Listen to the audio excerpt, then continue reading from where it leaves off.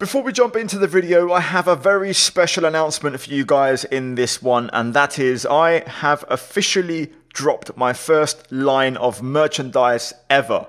In collaboration with Sim Racing Centre, better known as SRC, they of course are a partner of the channel, and over there you guys can get F1 24 setups, strategies, and coaching, and now you can also get my merch. All of that accessible with my code TOM97 at checkout for a cheeky 10% discount. And yeah, guys, I think you're going to love it. I honestly am very proud of the merchandise. It's an oversized t shirt with an embroidered logo of mine and also SRC on the front and the sleeves and it arrives in four different colors we've got the blackout we've got the bone the khaki and the sand really really awesome i've been wearing them a lot as a prototype and now right now as i'm speaking i'm wearing the black one I can't lie, it's insane. I'm wearing it in the video as well, and the quality is epic. I really like it. I think the price also is really, really generous, and I think you're gonna love it. So, guys, click the link down below, check it out get the merch, support the channel, and if it does well, there might even be more. Anyway, onto the video. Now, with that out of the way, we jump into today's episode of the F1 24 Lewis Hamilton career mode as we arrive at Zandvoort for the Dutch Grand Prix Max Verstappen territory. Now, we have a season break coming up very shortly. Now, previous episode, if you want to watch it, guys, go check it out. Link in the top right as always. I don't want to you know, spoil anything. So go watch it and see what happened before we talk about what happens in this one because it's going to be worth your time. Anyway, here is the post race fallout from that previous race at Spa, which to be fair went really well. We brought five upgrades to the car in that episode, and we also got our first safety car in pretty much ever. Like I don't remember getting many safety cars, and we didn't actually get one. We got two in the same race. So go check it out. In the meantime, we are going to purchase an update for the chassis because that is one of the weaker parts of you know our car really this season. The aero, the engine are excellent, but the chassis is really poor. Now we get that concluded and everything up to date, and we can now get through the season break and on the other side of that, we have a few more resource points to collect. And now we're going to find out who is going to get penalized. And that is going to be Aston Martin, who lose an upgrade heading into this race at Zandvoort. So you can see reflected in the performance chart, we are top of the pile. Aston Martin right behind with Red Bull and Mercedes also in the fight. Ferrari have joined the mix, Haas have pretty much joined as well, and Sauber Alpine on their way, and also VCARB. Like, look at the performance graph compared to the start of the season.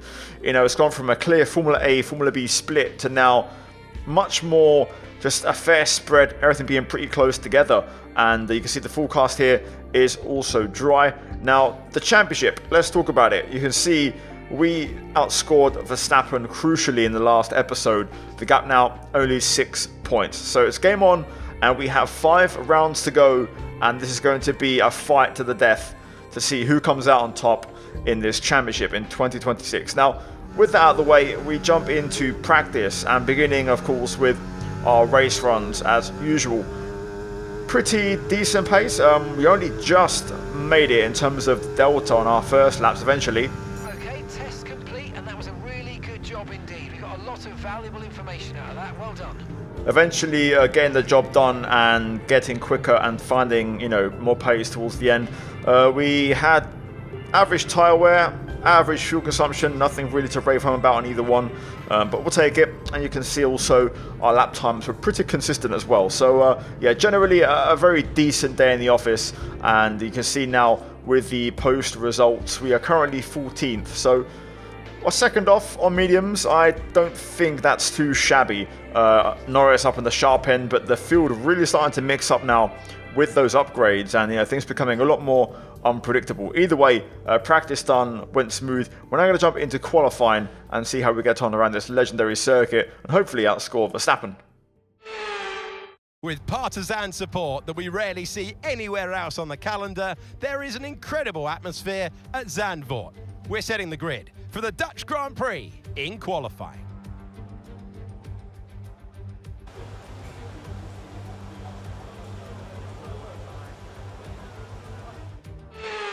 Right then, into qualifying, soft tyres on our car as always. Planning to go for three runs in this one. Uh, we're going to see how that pans out. Currently at the end of our first attempt in qualifying. Using the overtake as we look to close out the lap here, making our way towards the line. What is it going to be? First lap of the day, 1 minute 8.2. Uh, we go P5, which isn't too bad. Uh, just a whisker off Stroll in P3, but eventually we got shuffled down to P8. Six tenths off Max Verstappen. However, we're only two tenths off P2. So Verstappen absolutely flying on his home circuit and looking pretty damn quick. Anyway, we kick on to our second attempt, our second run in qualifying. Okay, just two laps of fuel remaining now.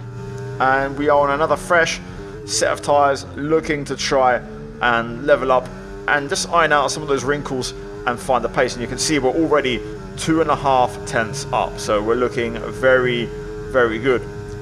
Sector one behind us now through the super fast flat out right of Scheivlak, followed by another flat out right with these cars. And now on the anchors as we head into this long right. At this point, the front left is screaming for help. Through the left, avoid the inside curb as it instantly spins the car. Uh, as we get the exit, opening the DRS down the back straight, and now into the chicane hairpin combo. Important here to try and stay tight and then get the power down as soon as possible. Slight snap of oversteer, which does compromise our exit a little bit as we now make our way through the last braking turn of the lap. Now for the final corner with the banking and up to the line, it's going to be near enough a 4 tenth improvement, and that is going to move us into second place, albeit a quarter of a second off Max Verstappen. So, onto the final runs. This is it. We've got to try and find something special here to defeat Verstappen. Right now, he looks untouchable. Anyway, P2 for now. Let's go for a full up of Zandvoort and see where we finish.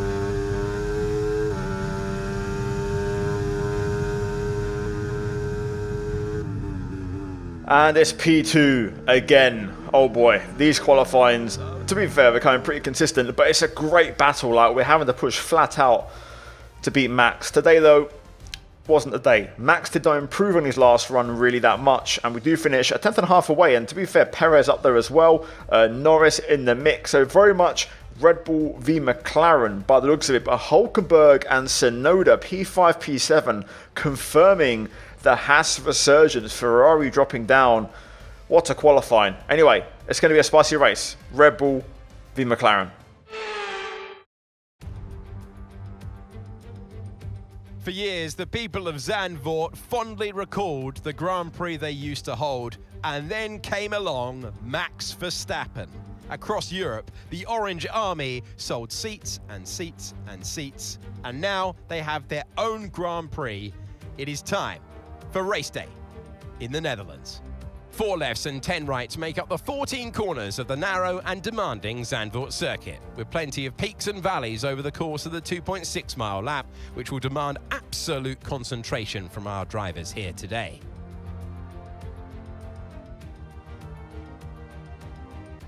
It's time to see how our drivers are stacking up after yesterday's exciting qualifying session. Max Verstappen put in a fantastic lap yesterday and he'll start from pole position. And it's Lewis Hamilton alongside. Considering the rest of the grid we have, Perez, Norris, Hulkenberg, Sainz, Russell, Stroll, Leclerc, Fernando Alonso, Tsunoda, Gasly, Ocon, Zhou, Oscar Piastri, Bottas, Ricciardo, Teo Pourchaire, Albon, and Ollie Bearman. That's it then. It's time to go racing as we head down trackside for today's race.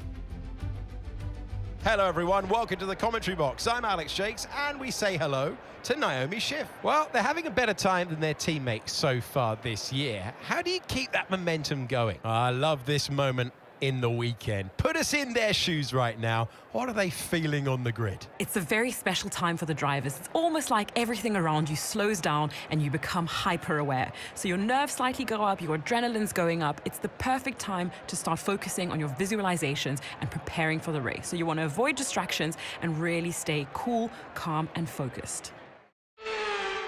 Here we go. Time for the race. Dutch Grand Prix front row start. Verstappen alongside us. And this is going to be a very interesting race. I think Max is looking extra quick this weekend. Really, really competitive in front of the home crowd. The qualifying pace kind of confirmed he was looking pretty speedy, but we're going to try and fight back and you know give him a fight regardless. For this one, we're going to be starting on the soft compound tires and switching to mediums later on. Uh, the softer compounds generally work better here. They can also hold decent pace even if they're quite worn and the hard tyre is actually not a particularly great tyre around this track. Now, I'm taking 2.2 extra laps of fuel. Um, we had pretty rapidly burning fuel in the last race, and luckily the safety cars bailed us out, but it's still a bit of a concern. So uh, let's see how it goes. Either way, Max the hot favourite, and of course the championship still very much at stake. Can't get any temperature in the rear tyres. Fronts ain't doing too bad, but just impossible to get those rears fired up. We're going to overtake Verstappen here and do a bit of a, an illegal one to try and burn the rears a little bit and get some burnouts on the go. Hopefully doesn't knacker my tyres out too much, even though I'm only barely getting temperature, so uh, not exactly ideal, but it is what it is. Right, let's get to it. Lights on for the Dutch Grand Prix. Let's get it. Oh, those cold rears just not working off the start. We are going to try and send it on Perez, but no way through. Note as well, Perez having a stronger weekend. Both Red Bulls up in the mix, and of course, Lando right there. Hulkenberg up to fourth. Has continued their insane trajectory with their pace and upgrades. So Nico Hulkenberg up to fourth. Red Bulls right now trying to make a break early on, so we've got to try and stick with them here and not let Max escape. So we're pushing flat out here, also using a lot of the battery to try and run the pace. DRS of course enabled from next lap, but we won't get it until this exact point next time around. So we have to be within a second by this point to have DRS. Let's see if Perez gets involved. Maybe he might want to fancy battling Verstappen unless he's been deployed exclusively in a defensive role to try and allow Verstappen to win. Either way, let's stick with it here as lap one draws to a close. Not a terrible start, but we do lose a place. Verstappen leads from Perez. Oh boy, the Red Bulls are relentless. They're pushing. The Bulls are on the hunt. And right now, I don't have DRS. I've been dropped. So this is really interesting. Perez right there with Max, who again is dictating the tempo. Right, this is my pace. I'm going quicker this lap than I was in the last one. But we're not really making much progress. Perez, to be fair, very close to Max. Hulkenberg's going to get us here. As Perez actually attacks Verstappen. Interestingly enough. Norris on our outside as well, looking to go through will hold the line, but Norris still there, but we just get the exit. That's a surprise. Hulkenberg fighting for a podium. Who would have had that on their bingo card? Verstappen Perez going at it again, and now Norris having a look, but will likely outbreak people into turn one. I'm pretty confident to there. This is good. The Red Bulls battling means they won't get away too much, so uh, we can keep this charge going. Okay, Lewis. We're currently burning through fuel a bit quicker than we'd like, so let's try and make it last for now, please. I have noticed, again, we just seem to be burning through the fuel faster and faster. Clearly we need some sort of fuel efficiency upgrade. Anyway, the Red Bulls aren't really getting away. They're battling now, lap after lap, pretty heavily. Hulkenberg's putting in a shift. He's running a really good pace. So right now, yeah, I clearly don't have the pace. Maybe the mediums might be better for me, but right now on these softs, I'm not very happy, and we are struggling. So I'm just trying to hang on for the time being. Hopefully, I can get back past Hulkenberg, and at some point make a push forward onto the Red Bulls to try and catch back up. I'm just trying to hit this fuel save target. Also, we do need to save fuel, as I'm actually burning whilst, you know, behind the car. If we get in front, we're going to burn even more. So, at the moment, just trying to see if I can hit that fuel saving target before we, you know, think about making moves and catching the cars ahead. Right then, fuel saving done. We've hit the target. Actually, no, we haven't. I think we're going to fall short. Okay, unlucky, mate. It was a good try, but we didn't quite meet our targets. Not to worry. Get your head down and chin up, and let's focus right the way into the checkered flag. Only just missed that one. That's a shame. Anyway, I wanted to pass Hulkenberg there, but I had to take a lift to try and salvage it. Either way, the Red Bulls are too quick. They're battling and they're still getting away. Um, I don't think we've got a ton more pace than this, but we do have more. But Hulkenberg's really doing an excellent job right now. I think third's the best we can do today. Even Perez is on, on his game. Okay, we'll try that again. Let's see if we can get this move on Hulkenberg here with some DRS. Using the overtake. Struggling. That Haas is quick on the straight. We just swoop around the outside of Tarzan, use the grip and the camber, and we go through.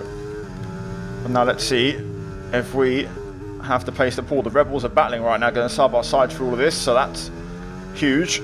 It'll help us gain quite a bit of time. You can see already we've gained a second, and they're still battling, so that's a, a real big plus for us. Hulkenberg just held on to my DRS there. Literally only just. I think the gap was like 0.998. We'll burn everything to try and build a gap on this one as Norris actually pits. And in the pits. Lando in the pits. so the pit entry or the pit window. Right, we've dropped Hulkenberg there. So now he's out of our DRS. We'll see if he pits or stays out. Norris going early. I wonder if he's gone for hards. That could be an undercut on the Red Bulls, which is interesting. Hulkenberg stays out. As does Russell, although Russell now going through, so they're going to start battling, so that will help us hopefully build a gap.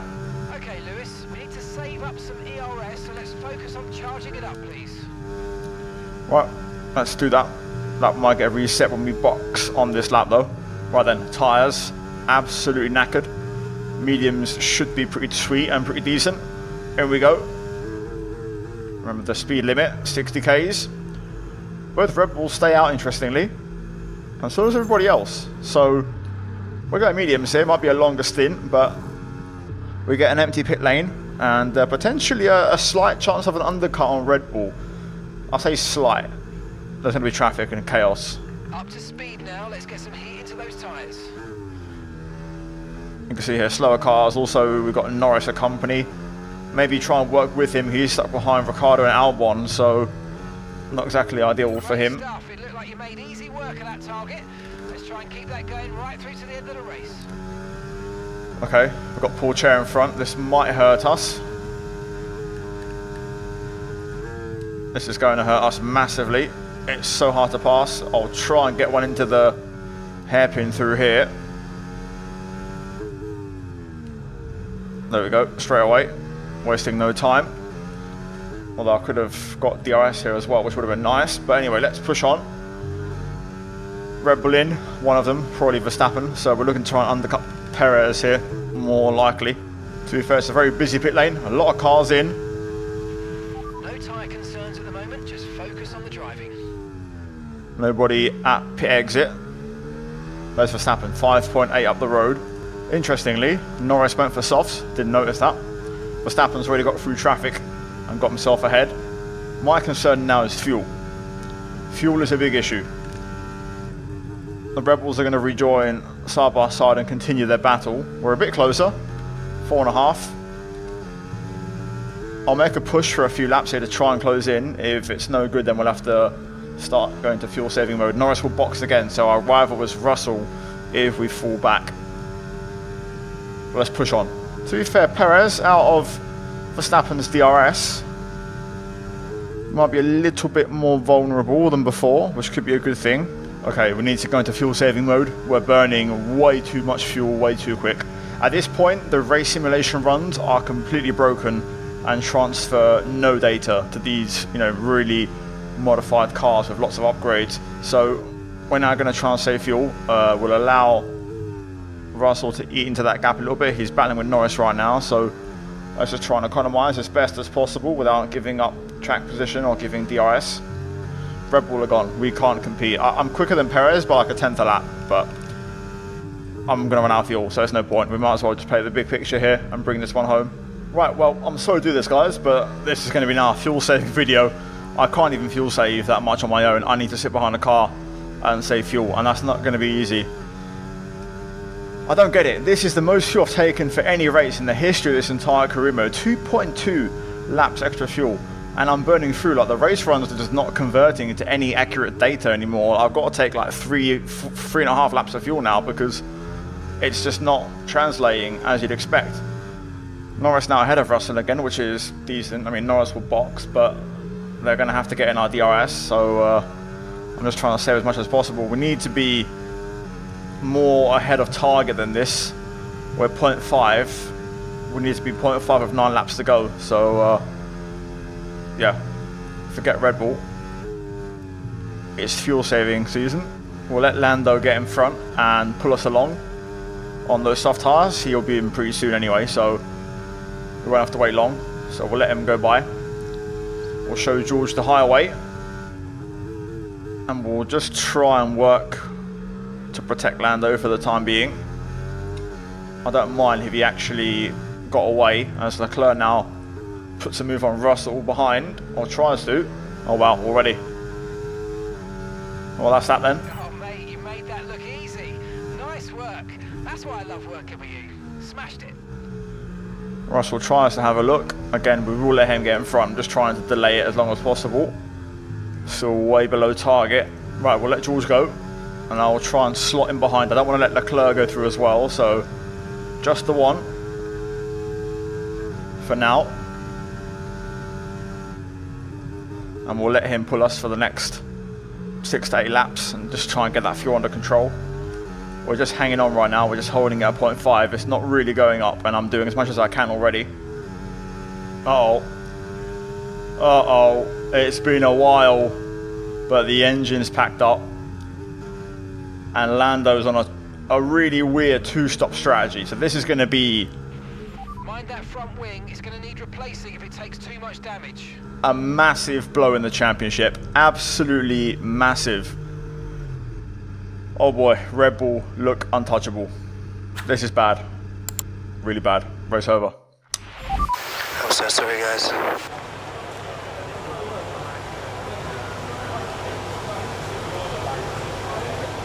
He has left the field behind. It is victory for Max Verstappen. You can just see the utter joy and relief on this driver's shoulders today because we know that the driver's contribution to the Constructors' title is what keeps them in their seats. So they have definitely impressed their bosses today. Here come today's winners. The team at Red Bull have done a phenomenal job recently. It's clear to see that they've put in the work and they should be proud of the victory they've secured here.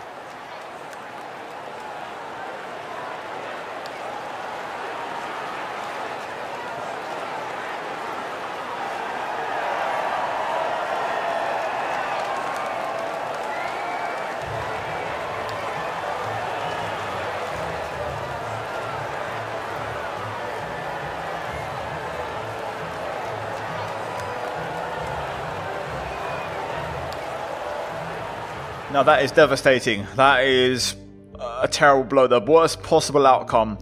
Because also this weekend Perez has been on form, has been quick. Got the extra point, which is good because it doesn't go to Verstappen. But yeah, a big issue. And Lando Norris didn't even score points. So let's break it all down in the final race results. Lando Norris also DNF'd. So double DNF. That is huge for us. That is literally the worst case scenario from a 1-2 and fastest lap to Red Bull through a double DNF for us. And I think there's only four rounds to go. To What, five rounds to go? I think there's four rounds to go. So, um, wowzer. That is a hammer blow. So, if we delve into the standings, we're 31 points behind. I mean, it's not impossible. Even if there's just four races to go, it's 100 points, which is still very much, you know, recoverable.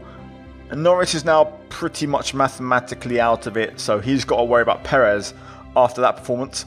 In the constructors, Red Bull re-overtake us and are now 14 points ahead. Oh boy, this has really swung, hasn't it? Oh no, this is going to be um, really tricky. The fairy tale ending. Hamilton with 10 titles. It will it even happen? Well, we need a big next race. It has to be huge. We need to, to come fighting with something. Uh, we've got no upgrades planned on my end, so unless Lando's got something in the pipeline, we just got to hope the next race suits our car better because nothing's changed from this episode to the last one for upgrades for us or for Red Bull. So the last episode was actually more competitive. This one nowhere near as much. So it's very track specific, and this definitely suits Red Bull more. So hopefully the next track is better for us. Either way, guys. In the meantime, in the background, you would have had the post-race fallout, you know, driver rating, specialist, recognition, and uh, yeah, guys, I'll see you guys in the next one. Shout out to members. Hopefully, you guys enjoyed. Check out the two videos on screen. Also, my links down below. And uh, yeah, guys, I'll see you in the next one. Take care, and let's goodbye from me. Ciao.